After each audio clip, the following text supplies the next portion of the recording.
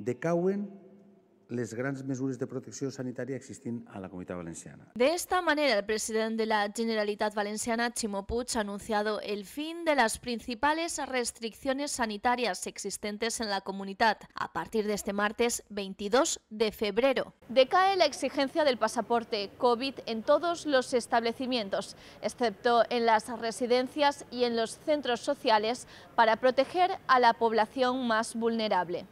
Se elimina también la limitación de 10 comensales máximo por mesa y la separación de metro y medio entre las mesas de los locales de hostelería. Eso sí, sigue siendo necesario el uso de la mascarilla en interiores, cuando no sea posible mantener la distancia de seguridad. Para la gente, sobre todo, sí, la gente iba con mucho miedo también con lo del certificado y con tal, entonces me parece muy bien que lo quiten todo ya, que nos dejen trabajar.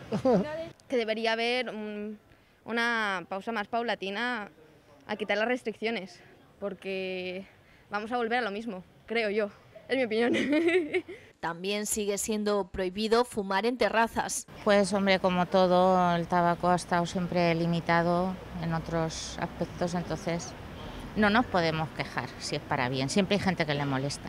Bueno, pues eso me parece que es indicio de que ha mejorado el número de contagios y es una buena noticia, pero habrá que seguir con las precauciones. Así es que nada. Para el presidente de la Generalitat comienza un nuevo tiempo en el que la vacuna, la mascarilla y el sentido común serán las grandes defensas.